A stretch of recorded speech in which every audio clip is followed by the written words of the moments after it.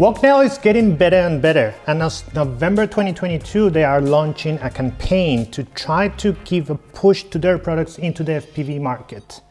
Today I want to show you what I've done to the pair of goggles that I've owned since a few months back, since the beginning, what I've done to them to make them work better, what I've done to them to make them look cooler, and what I've done to them to make them be more comfortable.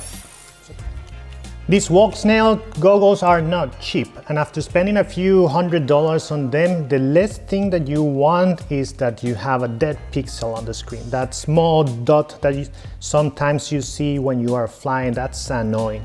So the first thing that I did when I got this was to try to get a cover for the lenses. There is non-commercial available and since they were pretty new in the market, there was nothing that I, can, I could download from the internet to make that happen.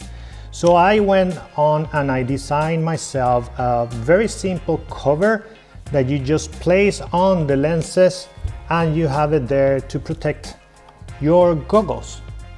If you want one of these, you can buy it from my shop or you can download the STL file from printables.com and print your own version. Let's face it, the antennas that comes with the Walksnail system are not that good. The first combo that came with the system were four omnidirectional antennas and people complained quite a lot about them. Then Walksnail started to ship uh, free patch antennas that you could use, which improved things a little bit, but if you want a good and big change on your range, the first thing that you have to do, and I will call this a must do for these goggles, is to change the antennas for something that is good. I like True RC antennas, not only because they are very good quality, but because that company puts a lot of effort on doing everything good for their customers, product and service. So I chose them and I have this power combination of the patch antennas on the front and the omni on the top. There is some discussion about if the patch antenna, one of the patch antennas should be on the top and so on and so on.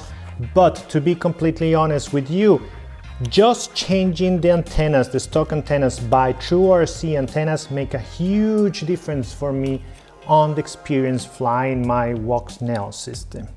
So go ahead and do this because as I'm saying, I think this is a must do. We wouldn't be Nord FPV if we wouldn't change the strap of the goggle for our very cool and very comfortable Nord FPV strap. So again, one of the first things that I did when I received my goggles was to change the strap from that thin one that they have to something that is more comfortable, looks better, and I also have the opportunity to have the battery in here, position whatever you want on your head, if you want it on the side or if you want it right back so you have better balance, you can do that. Go ahead, check the different models that I have on the shop. If you like them, order one from us because they are not just cool, they are very, very comfortable. Next one, I'm gonna talk about the foam that you use on the goggles. The original one is extremely thin and in my case, for my face, I had a lot of light leakage on the sides. So I tried to get something that worked for me the first attempt that I did was to buy the same foam that I had on my HDO2 before because that one worked pretty well and the form factor of the goggles are kind of similar. So I went and I, buy, I bought this one that was the same one that I had on the HDO2 which comes from uh, Nubidrone but even after installing it I still had light leakage on the side so I had the option to either print something to make this a little bit more curvy or just to try another foam. And I went and I tested this one that I have right now on. It's actually the foam that I use and I sell for the DJI goggles. It's pretty thick, it's pretty comfy, and it works very well. Like I have no complaint with this one. I need to push it a little bit harder, like I need to tighten my strap a little bit more so I can come closer to the, to the lenses because it's so thick that you get a little bit away and you lose a, a, a piece of the field of view. But if you push it enough, if you push it hard enough, You're gonna get something very comfortable. You still have your same field of view and it fits very well. You don't get any kind of marks, or at least I don't. I don't get any kind of marks after using them, and I'm very happy with this choice. When it comes to how to power my goggles, I have two options. I have presented in videos before this little box that I have here, which it's a battery case for 18650 works perfectly. You have this one, you charge it outside, you can charge it with an USB cable directly and I move it from my different goggles so I can have it on the back of my head.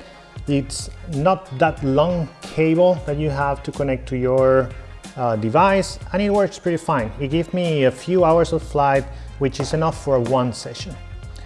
But if you are the kind of person that you don't want to think about charging that box every time before going to flight and you don't mind having a battery on your pocket, I found recently this on the internet, which is a kind of big battery pack that you can have on your pocket. It's a little bit heavy, but it's 20,000 milliamp per hours. It's gonna give you a very good long time to fly. You can have a USB-C connector to a barrel I don't have the cable yet, it's on the way here. But then you can have this battery pack on your pocket, the cable all the way to your goggles, and you're gonna have very long flight time that you can use there. The battery pack also helps you if you need to charge, for example, your GoPro on the field, and then you have kind of like an all-in-one for your needs when you are flying. It's a good option.